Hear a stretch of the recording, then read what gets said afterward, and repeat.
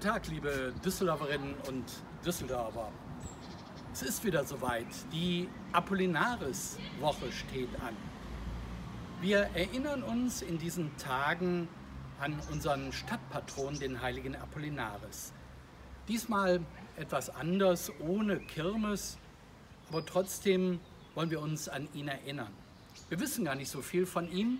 Er war ein Bischof in Ravenna, und die Reliquien sind im 14. Jahrhundert über Remagen nach Düsseldorf gekommen und seitdem wird der heilige Apollinaris als Stadtpatron verehrt. Stadtpatron, was hat das eigentlich für eine Bedeutung? Patron heißt Vater, Beschützer.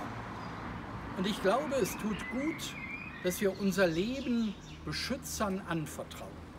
Das können die Eltern sein, gute Freunde, die Paten.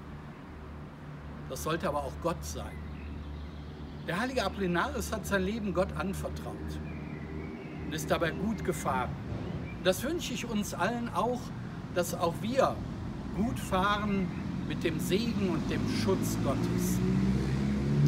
In dieser Woche wird es keine Prozessionen geben, aber Mittwochabend wird ein Gottesdienst gestreamt aus der St. Lambertus-Kirche. Dort sind die Reliquien des heiligen Apollinaris. Und der Oberbürgermeister wird an den Reliquien des heiligen Apollinaris eine Kerze für die Stadt entzünden. Und am nächsten Wochenende wird es in allen unseren Kirchen in Düsseldorf Apollinaris-Kerzen geben.